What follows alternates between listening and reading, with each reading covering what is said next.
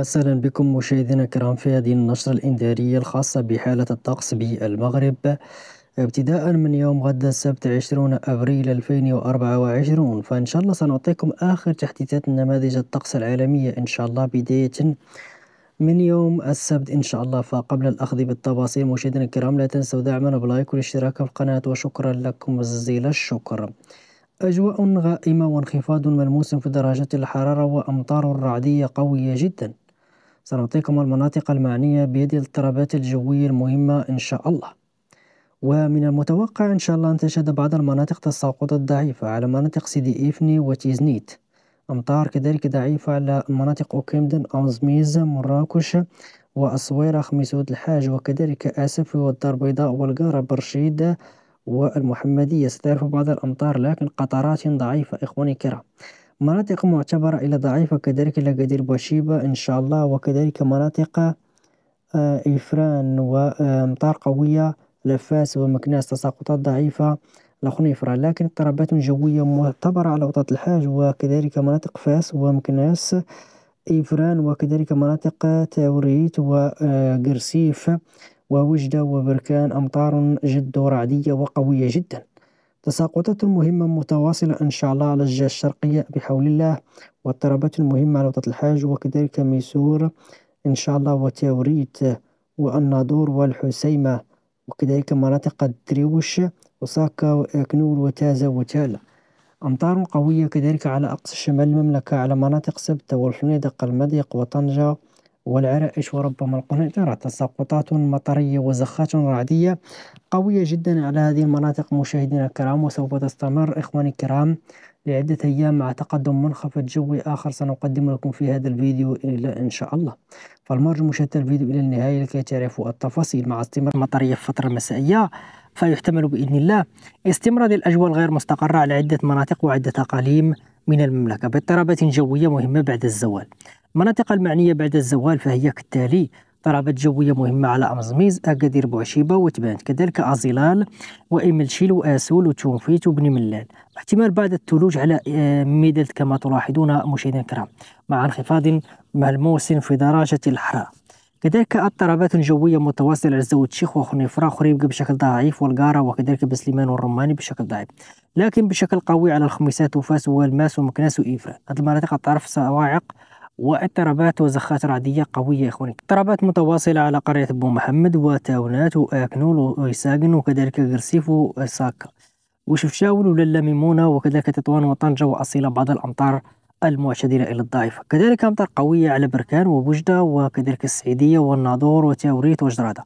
وساكا وآكنول وعاطفة المناطق الطرف تساقطات مطرية على سكورة مجازة وخنيفرة. تساقطات زخات رعدية وصواعق قوية. توقع مع مرور الساعات هذه الاضطرابات أن تمتد إن شاء الله وربما تصل حتى الدار البيضاء وخريبقة وخنيفرة وسيدي بن نور وفاس وقرية أبو محمد ومكناس وكذلك إفران سكورة مداز وصفرو وطاط الحاج وميسور وميدلت وكذلك زاوية الشيخ وخنيفرة وإيميلشيل هذه المناطق تعرف تساقطات مطرية ذات طابع رعدي إخواني الكرام. كذلك على تبانت وإيميلشيل وبني ملال. كما تلاحظون والواجهة المتوسطية. أمطار قوية على وجدة وبركان. وتاوريت إن شاء الله والناظور والحسيمة. أمطار متواصلة على صاكا وآكنون وإيساقن وشفشا وانتطوان. طنجة أصيلة والعرائش لالا ميمونة ووزان سيد سليمان قرية أبو محمد ومكناس والخميسات. أمطار وزخات رعدية قوية إن شاء الله. مع مرور الساعات إن شاء الله سوف تمتد الاضطرابات حتى المناطق الراشدية مع احتمال تساقطات مطرية وثلجية إن شاء الله على المناطق التالية. واضطرابات جوية متواصلة على الجهة الشرقية إن شاء الله على وطأة الحاج. إن شاء الله. مع الفترة الصباحية من يوم الأحد 21 أبريل أمطار حاضرة على الراشدية وتشينغير وقلميمة إن شاء الله وقرامة تساقطت على أسول وميدلت وقد تصل المناطق كذلك الشرقية العليا الشرقية وضغط الحاج وفاس وسيد سليمان. وباب برد إن شاء الله متواصل على تونات وزان وأمطار حاضرة على إساق شفشاون وتطوان أصيلة والعرائش. أمطار خفيفة على الناظور والسعيدية. أما بالنسبة للفترة المسائية من يوم الأحد يتوقع أن تستمر هذه الاضطرابات الجوية إن شاء الله بعد الزوال. مع كما قلنا لكم تقدم جوي منخفض جوي كبير إن شاء الله. خلال الفترة المقبلة سنقدم لكم في هذا الفيديو. أما المناطق المعنية كذلك بعد الزوال فهي كالتالي أمطار حاضرة على وجدة بركان تاوريت ساكا والناظور الدريوش إيساقن كذلك قرسيف وتازة هالة وكذلك مناطق تاونات إيساقن والحسيمة وتطوان. وسيدي سليمان وأمطار ضعيفة على والماس والخميسات وكذلك إفران مع تساقطات ثلجية خفيفة إن شاء الله. كذلك ربما تعطي بعض الأمطار المطرية على بوعرفة وربما مرزوقة تصل بعض الأمطار مع رياح قوية على الجنوب الشرقي وسوس إن شاء الله. بالنسبة لليل إن شاء الله فيتوقع استمرار بعض الأجواء الغير مستقرة على مرتفعات الريف وكذلك كوخنيفرة وميدلت ووطات الحاج. أما بالنسبة لتوقعات الأيام القادمة تشير لعودة قوية للمنخفضات العملاقة إلى المملكة. بداية كذلك من يوم الثلاثاء. فمن المتوقع إخواني الكرام استمرار بعض الأجواء الغير مستقرة على مرتفعات الأطلس. مع اضطرابات جوية إن شاء الله كذلك يوم الخميس على المرتفعات كما تشاهدون.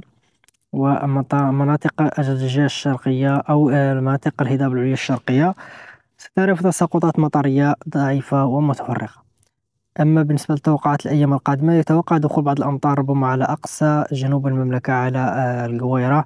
وإن شاء الله أوصل توقعات الأيام المقبلة فتشير نماذج الطقس العالمية لاحتمال إن شاء الله دخول منخفض جوي. بداية من يوم السبت فهذا مجرد بداية سيدخل إن شاء الله باضطرابات جوية حاضرة على مرتفعات الأطلس على أمزميز وكيمدن إمنشانوت وتباينت وأزيلال وإملشيل وتوفيت وزود الشيخ وميدل تذكر مداز وإفران وكذلك قرسيف وتازا وهذا المنخفض الجوي سوف يتجول كما تشاهدون قرب المملكة.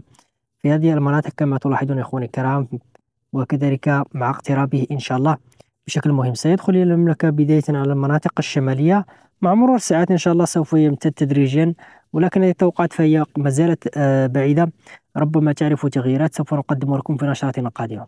بالنسبة للمناطق المعنية بهذه المنخفض فهو بركان والناظور والحسيمة كذلك والدريوش وأمطار حاضرة على إساقن وتطوان وقرية أبو محمد وتاونات وتال وفاس ومكناس ويفران وكذلك سكورة مداز أمطار حاضر على ميدلت تونفيت وإيميلشيل والرماني وكرامة وتنغير مع تغييرات ملحوظة كما تشاهدون بين النماذج العالمية خلال التوقعات التي ذكرنا لكم في آه، في نشرتنا المقبلة بالنسبة لتراكمات الأمطار مشاهدينا الكرام للأيام المقبلة فتشير لتراكمات مهمة على الواجهة المتوسطية.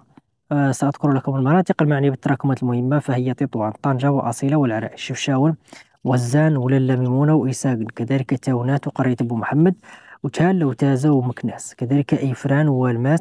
سكورة مداز إن شاء الله. إدلة خنيفرة وإيملشيل وكذلك الرشيدية وبعرفة وبعنان وأنشاء وكذلك الجهة الشرقية لوجدة وبركان وكذلك جرادة والسعيدية والمناطق الناظور وتاوريت وقرسيف هذه المناطق تعرف تساقطات مهمة مهمة إن شاء الله قد تصل إلى أزيد من خمسين ملم مشاهدينا الكرام كتراكمات للأمطار إخواني الكرام.